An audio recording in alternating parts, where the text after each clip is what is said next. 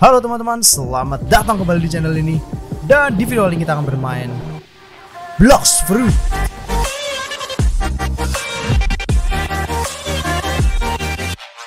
Alright teman-teman, jadi di video kali ini gue akan memberikan kepada kalian Top 5 buah paramecia yang seperti gue sudah janjikan ya kemarin-kemarin. So kita langsung aja mulai biar biar nggak lama ya teman-teman. Oke untuk urutan buah kelima ya teman-teman. Paramecia kelima menurut gue itu masih gam-gam ya. Gam-gam. Walaupun skillnya cuma 4 gitu Tapi masih gam-gam. Kenapa? Karena damage-nya udah nggak bisa diragukan lagi ya. Ini salah satu paramecia dengan damage tersakit gitu. Terutama kalau kalian udah udah unlock skill terakhir ya Gear second. Itu udah Wah parah sih buat damage-nya itu parah banget teman-teman. Buat PvP apalagi ya Wah sadis banget udah gitu skillnya tuh gampang banget dipakai gitu. Nggak nggak nggak susah-susah banget gitu ya makainya. Jadi untuk farming juga kalian bisa. Semua skillnya tuh area gitu.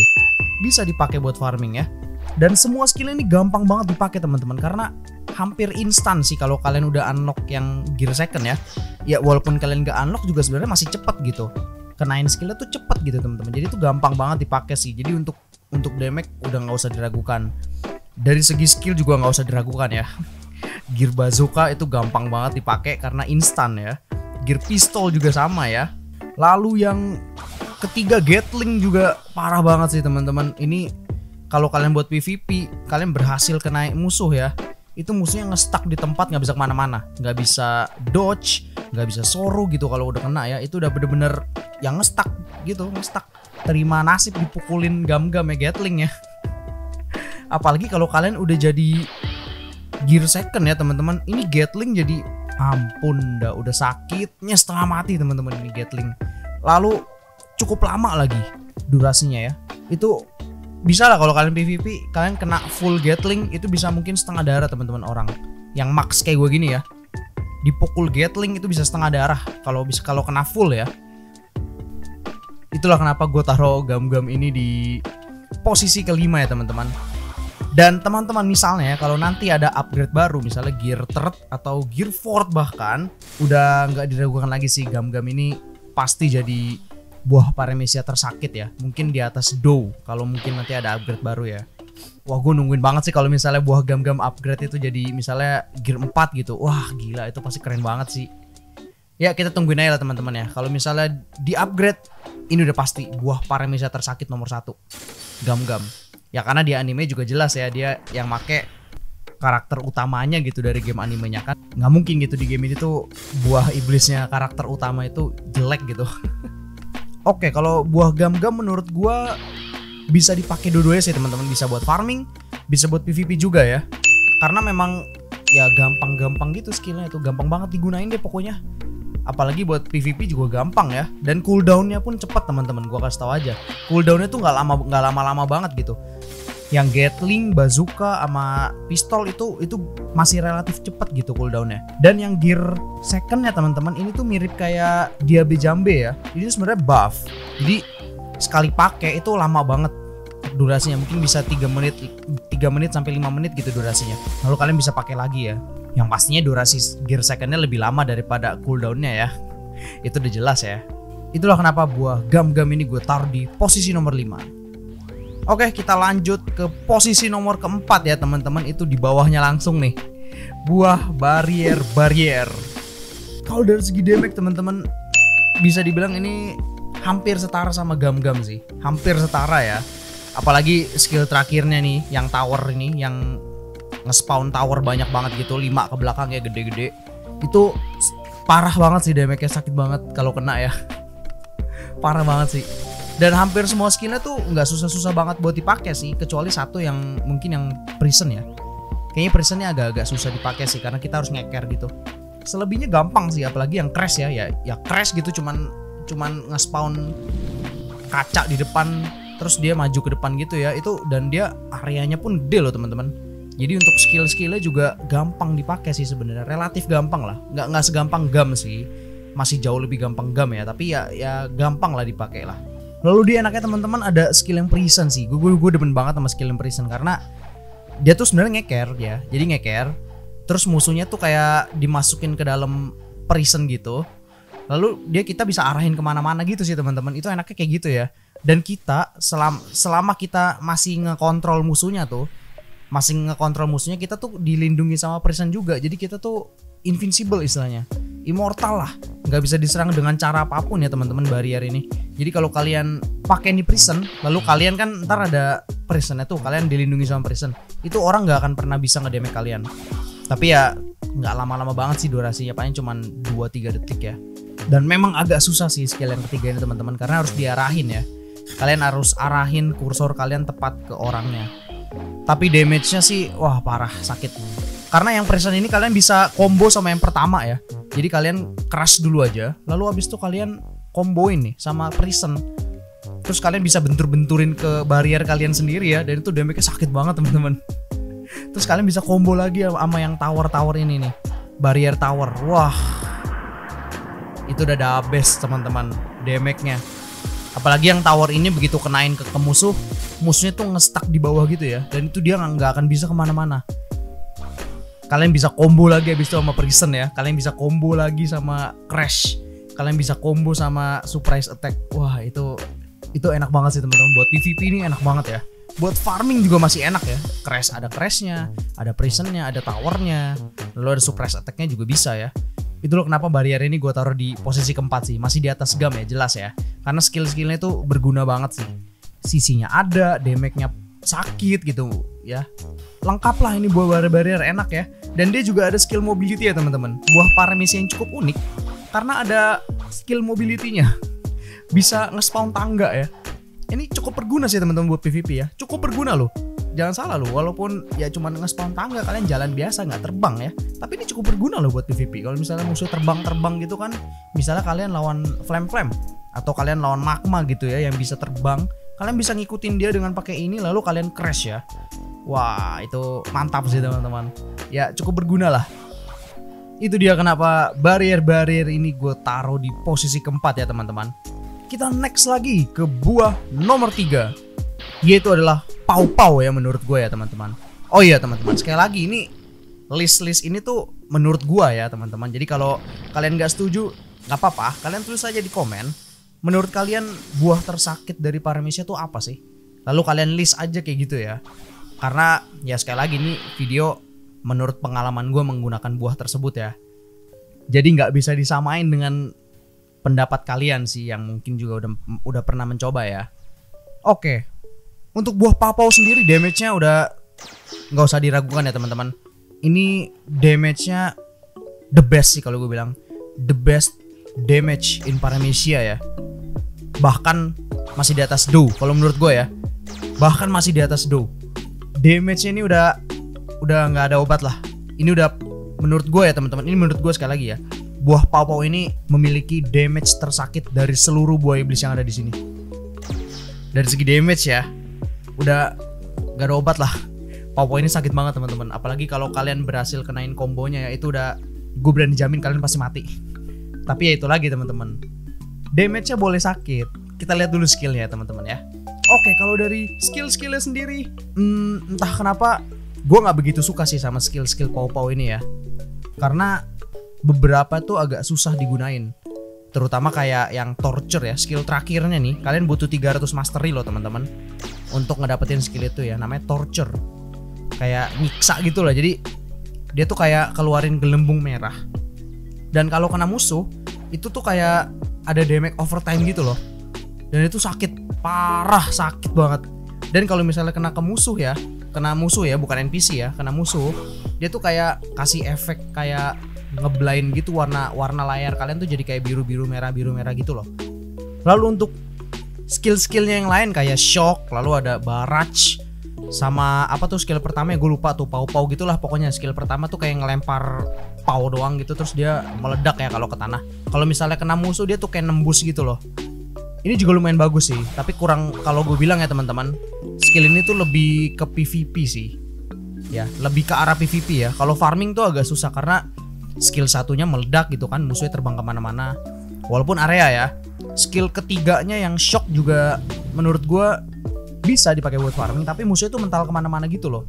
Jadi tuh agak-agak susah sih makainya kalau menurut gue ya.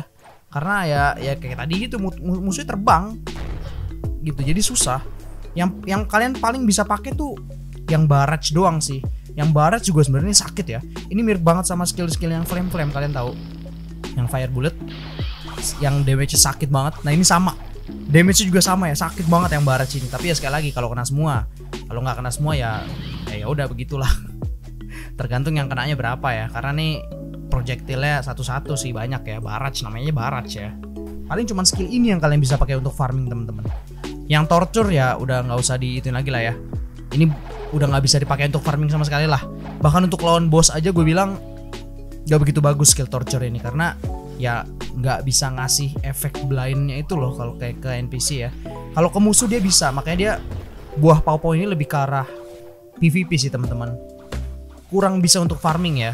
Tapi biarpun buah ini ke arah PVP teman-teman menurut gua tuh agak susah skill-skillnya dikenain untuk PvP ya. Terutama yang torture ini. Ini gampang banget sih dihindarin. Karena di jalannya tuh lambat banget. Begitu dipakai itu power warna merahnya tuh lama banget jalannya kena ya. Jadi gampang banget dihindarin teman-teman. Kecuali kalian uh, misalnya combo ya. Misalnya kalian pakai superhuman kalian pakai beast owl punch. Ini kan ngestun musuhnya tuh. Habis itu baru kalian torture jarak deket ya itu pasti kena. Tapi kalau dari jarak jauh teman-teman ini pasti hampir pasti nggak akan kena sih. Karena emang susah susah itu gitu nggak ada ngekenainnya ya. Karena jalannya lama sih. Dan untuk yang shocknya sendiri juga sama ya. Sama kayak torture ini jalannya tuh. Jadi ya lama gitu loh teman-teman. Gue gue nggak tahu udah kenapa kenapa lama banget gitu jalannya ya. Apa emang ngikutin di animenya? Karena anime juga begitu lama ya. Aduh sayang banget sih Popo ini damage sakit tapi susah banget dipakai skill-skillnya teman-teman untuk yang skill barrage sendiri gampang ya dipakai ya dia mirip Batam Fire Bullet sih Lalu yang skill pertamanya juga relatif masih gampang lah karena dia cepet jalannya ya.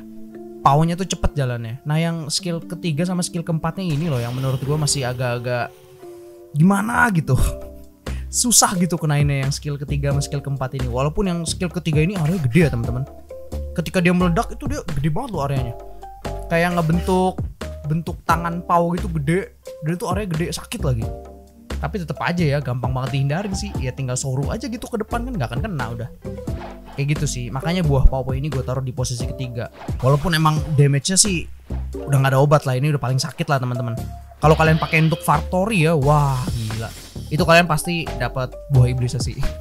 Kalau kalian pakai buat Factory ya karena damage kalian pasti paling sakit lalu untuk skill mobility sendiri ada sih Rappel ya.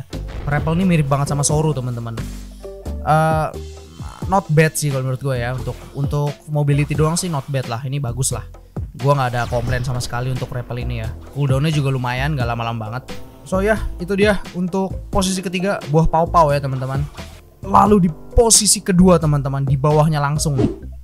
Gravity. Kenapa gue taruh di posisi kedua padahal damage-nya masih di bawah pau ya.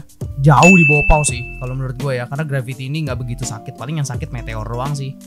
Sama paling yang skill keduanya sih. Skill keduanya lumayan sakit ya kalau kena terus-terusan ya. Lumayan sakit. Tapi emang agak susah kalian karena kalian harus tahan musuhnya gitu loh. Tapi kenapa gue taruh di posisi kedua? Karena boy ini gampang banget dipakai sih. Buat PvP juga bisa ya karena meteornya ini yang skill-skill terakhir meteor ini loh ini ini ngeselin banget loh teman-teman karena dia ke mana-mana gitu ya meteornya ngespawnnya jadi agak susah untuk dihindari kecuali kalian bisa terbang ya. Nah itu baru deh bisa dihindari. Lalu skill-skillnya juga gampang sih digunakan teman-teman. Terutama yang kayak graffiti apa sih ini namanya gue lupa deh. Ya pokoknya yang area nge apa nge-spawn area graffiti gitulah. Nah itu itu itu enak banget sih dipakai teman-teman. Buat farming juga bisa ya damage sakit. Buat PVP juga bisa ya. Apalagi kalian bisa combo teman-teman. Gue lupa kalian bisa combo loh sama meteor yang skill ketiga. Jadi kalian keluarin meteor Nah itu kan meteor nggak langsung jatuh ya teman-teman, nggak instan kan dia masih nunggu dulu jatuhnya kan. Kalian combo sama gravity ini. Jadi musuhnya biar tetap di tempat ya. Dan ketika dia kena meteor, musuhnya itu nggak terbang ke mana-mana. Karena kalau misalnya kalian nggak pakai zona gravity yang di skill kedua ini, ketika meteornya kena ke musuh, itu musuhnya tuh terbang pasti ke mana-mana ya. Jadi kalian bisa combo sih. Kalian meteor, lalu kalian bisa combo aja teman-teman sama skill keduanya ya namanya Gravity Science gue lupa. Bukan zona gravity ya namanya gravity science. Ini enak banget sih skill buat dipakai buat PVP ya teman-teman. Udah udah best lah ini buat PVP enak juga nih. Kenapa gue taruh nomor 2 karena skill-skillnya tuh lebih gampang dipakai ketimbang kalian pakai PAW ya teman-teman karena hampir semua area sih jelas ya. Skill satunya area gitu kan. Dan itu yang skill satu juga lumayan enak loh ini teman-teman. Karena dia kalau kalian pernah lawan Fujita nah skill yang dipakai pas kalian ada di darat itu loh teman-teman. Dia kan kayak langsung dorong kalian gitu loh. Dan pas dia ngedorong kalian itu kan kalian mental ke belakang tuh. Nah itu itu skill satu kayak gitu ya sama ya. Dan untuk screen mobilitasnya sendiri teman-teman ya.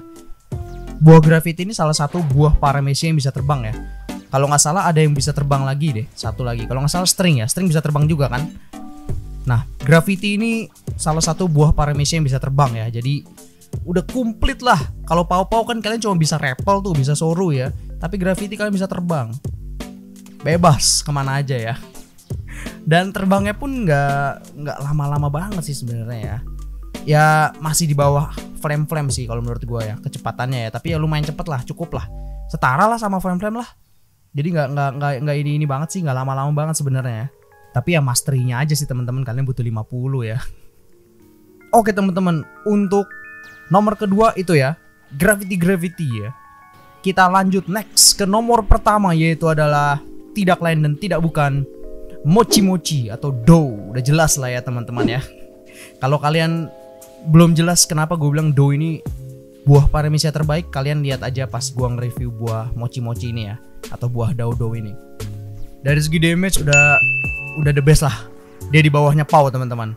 Walaupun masih di bawahnya Pau, tapi tetap sakit gitu. Apalagi skill keempatnya ya parah sih ini sakit banget teman-teman jadi kalian bisa ngebayangin ini tuh mirip banget sama skillnya gam-gam Gatling teman-teman mirip banget tapi bedanya ini tuh kayak memaksa kalian untuk stay di satu tempat tahu nggak beda bedanya sama yang Gatling tadi kalau Gatling kan dia ngestun kalian nah kalau Do ini dia tuh memaksa kalian ke satu tempat gitu loh teman-teman jadi dia bisa arahin kalian ke mana aja gitu loh kalau kalian belum belum tahu kayak gimana jelasnya kalian lihat video gue pas nge-review buah dodo ini deh. Kalian pasti tahu lah.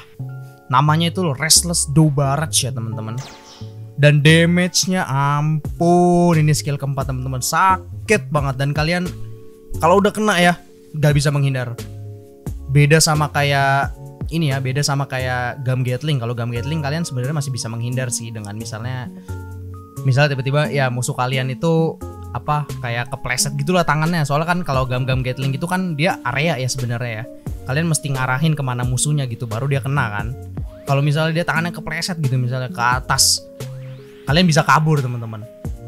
Beda sama do ini. Karena kalian yang memaksa kalian itu untuk ngestay di satu tempat loh jadi itu susah banget sih untuk dihindarin ya karena dia nggak mungkin kepleset tangannya gitu ke mana pun tangan dia pergi ya kalian ngikut gitu itu sih yang bikin sakit sebenarnya Lalu untuk skill-skillnya sendiri ini mantep banget sih, apalagi yang sticky do ya. Ini salah satu skill yang paling OP menurut gue teman-teman di game ini ya. Salah satu skill paling OP untuk PvP ya, jelas ya untuk PvP ya, bukan untuk farming. Salah satu yang paling OP. Kenapa? Karena ini bahkan bisa nangkap orang di udara loh teman-teman. Lagi terbang bisa ditangkap. Kalian bayangin, nggak bisa kabur kalau orang pakai do ini loh teman-teman. Kalau kalian ngelawan orang pakai do ya, kalian bisa pakai light. Pakai light sekalipun pakai pika pika sekalipun itu bisa ditangkap teman-teman. Kalau kalian nggak percaya kalian lihat review gue pas buah dodo ini ya. Itu gue bisa nangkap orang lagi terbang pakai cahaya loh. Gila nggak? Gila nggak? Parah banget sih ini skill OP banget. Dan damage sakit ya teman-teman. Walaupun cuma buat satu orang sih. Ya emang skill ini buat PvP banget sih yang sticky dough ini lalu untuk yang carve dough ya teman-teman ini gue salah sebelumnya kan gue bilang ini cuma bisa buat jarak deket ya ternyata enggak teman-teman yang carve do ini ternyata kalau kalian tahan itu kalian bisa jalan juga ya sama kayak skill mobilitas dia nanti gua akan bahas ya. Nah skill ketiga ini mirip banget kayak yang skill mobilitasnya dia tapi ketika kalian kena musuh dia tuh langsung kayak ninju kalian ke tanah gitu loh. Dan itu sakit ya teman-teman. Damage-nya sakit banget sih. Parah banget sakit banget. Lalu untuk skill satunya sendiri teman-teman, Fright Dough ya. Ini enak banget sih dipakai ya, terutama kalau kalian kenain musuh kalian itu kalian bisa terbangin musuh kalian loh. Atau kalau kalian arahin ke tanah dia kan meledak. Kalau kalian arahin ke musuh kalian dia tuh kena musuhnya sekali terus musuhnya terbang. Lalu kalau misalnya di belakang musuhnya ada kayak tembok gitu itu dia bisa meledak lagi teman-teman. Dan nge-damage lagi. Bayangin sakit gak nih buah? Tapi memang ya uh, untuk ngarahin skill satu ini memang agak susah sih teman-teman kalau musuh kalian terbang terbang gitu agak susah ya makanya kalian pakai dulu nih skill kedua kalian ya untuk tangkap dia terbangnya. Ketika dia udah nggak ada cooldown terbangnya baru kalian pakai skill satu ya. Oh ya untuk skill mobilitasnya sendiri salah satu skill mobilitas paling unik ya teman-teman di game Blocks Fruit ini. Dia tuh kayak ngebikin donat gitu di tanah ya. Bukan donat sih apa ya? Ya, ya donat sih tetap ya, tapi tapi jadi kayak roda, namanya roller donat ya. Jadi kalian menjadi roda di jalanan gitu. Kalian bisa muter-muter ke mana-mana ya. Dan itu geraknya cepet loh teman-teman. Ya 11-12 sama pika-pika lah kalau menurut gue ya. Karena ya cepet emang emang cepet gitu. Aduh sayang sih gue sekarang udah ganti jadi ice ya. Kalau tadi gue bisa pakai dodo gue bisa contohin nih ke kalian. Kenapa gue bilang cepet banget ya. Terus teman-teman uniknya lagi ya. Yang mobilitasnya ini. Yang roller donat ini kalau misalnya kalian fishman kayak gue ya. Ini gue fishman nih. Tuh.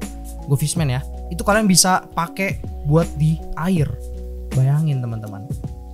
Buah paramesia bisa pakai skill mobilitas di air. Bisa jadi kapal. Kecepatannya itu ngalahin kapal tercepat di game ini. Yang harus pakai game pass itu loh. Kecepatannya sama.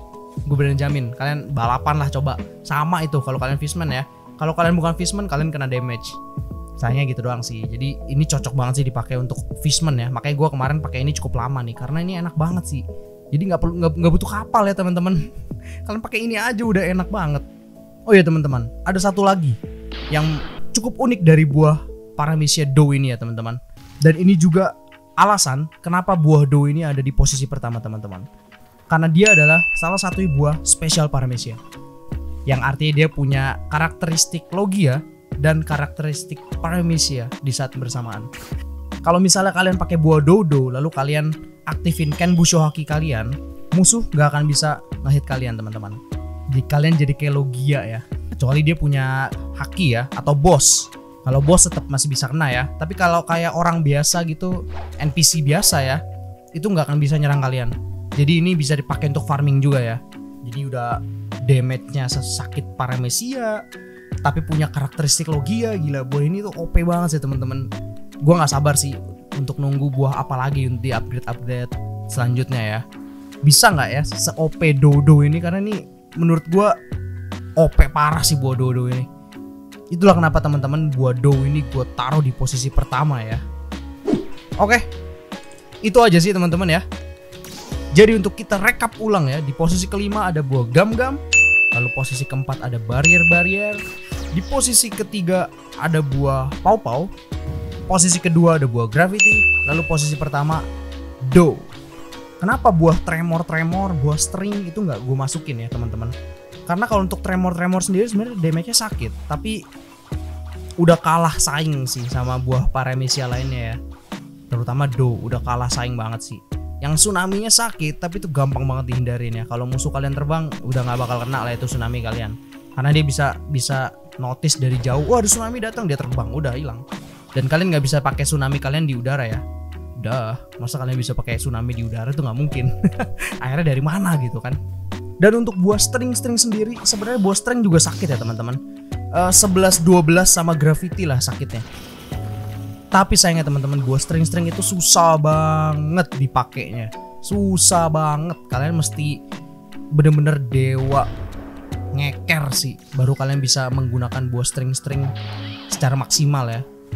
Karena ya emang harus ngeker cuy. Baru bisa tuh buat string-string. Kalau kalian nggak bisa ngeker sayang gitu. Skillnya nggak ada yang kena. Susah. Oke itu aja sih video untuk kali ini. Jadi kalau nanti misalnya ada upgrade buah iblis zoan ya teman-teman gua akan bikin lagi nih top 5 buah zone ya. So, terima kasih sudah menonton video ini. Jangan lupa like, jangan lupa subscribe, jangan lupa juga share ke teman-teman kalian supaya komunitas kita semakin berkembang. And I will see you guys in the next video. Bye bye. Ciao.